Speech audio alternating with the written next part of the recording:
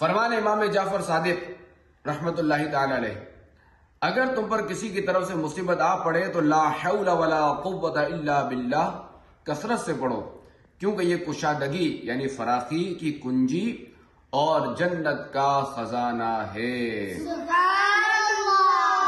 अल्हम्दुलिल्लाह करीम पंद्रह रजब शरीफ की नस्बत से इमाम जाफ़र सादिक अलैह इनके योम पर उशाका ने रसूल उशाका ने साहबा अहले बैत अहले इस्लाम जो है वो मुसलमान जो है वो कुने की न्यास करते हैं। तो अल्हम्दुलिल्लाह के हमने भी ये तरकीब की है। फैजान जाफ़र सादिक। अजमत इमाम जाफ़र। मरहबा मरहबा। बरकत इमाम जाफ़र। सदाकत इमाम जाफ़र।